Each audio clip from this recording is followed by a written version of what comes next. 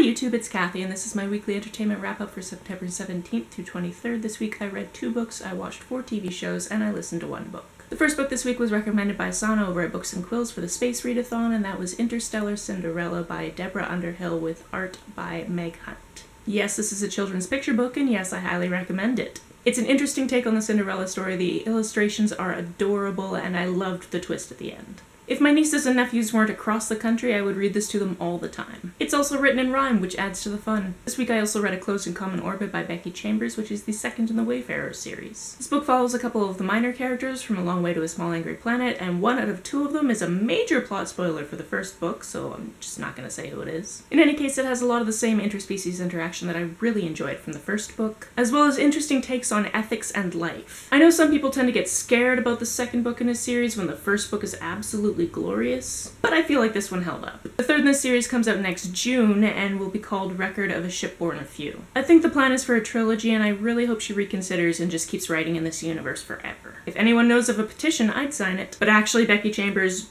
do what you want. I'm just really enjoying your work.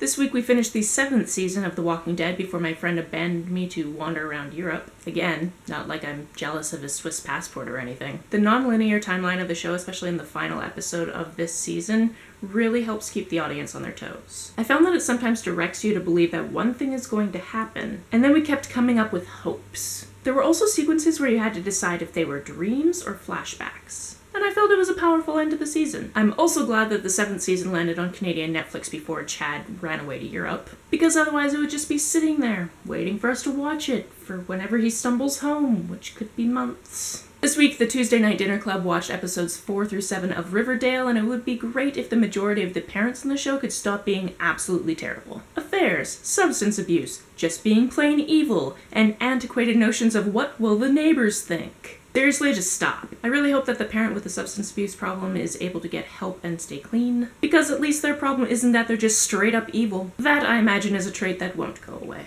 This week on Downton Abbey, we're in 1924 and all sorts of secrets are flying around. We learn about Baxter's secret that's keeping her under Barrow's thumb. We know he has a secret, but we don't quite know the scope of it yet. Secrets that we've assumed about Bates have come into question. Edith has a monumental secret she's keeping from the family, as does Mary. Someone from downstairs is dismissed due to a secret that would have been better left unanswered. This season in particular just has a lot of potential to explode.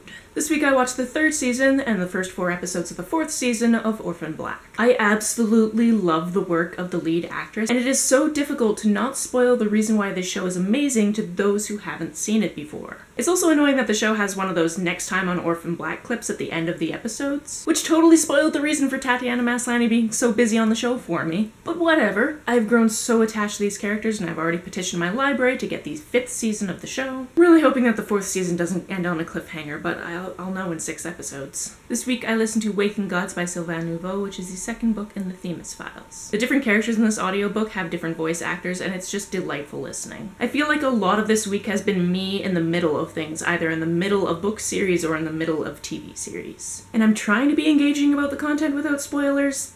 It's difficult. A lot happens in this book to the point where if you skipped from the first book to the third book, you would have a very hard time grasping what you missed in the second book. If you like sci fi and you haven't picked up this series, please do. Even if you don't think you like sci fi, I think you might like this series. Only Human, the third and final book of this trilogy, comes out in May, which means I'm in the same boat with this one as I am with the Wayfarer series. And the Illuminae Files series, for that matter. Next year, we'll see the conclusion of all three of these amazing sci fi series. And although I'm sad they'll be ending, I'm excited to see what will happen in each of these worlds. That's it for this week. If you've read, watched, or listened to any of these, let me know about it down in the comments below. On the way down to the comments, if you hit that subscribe button, that would be very nice of you. You can like and share this as you see fit, and I will see you very soon.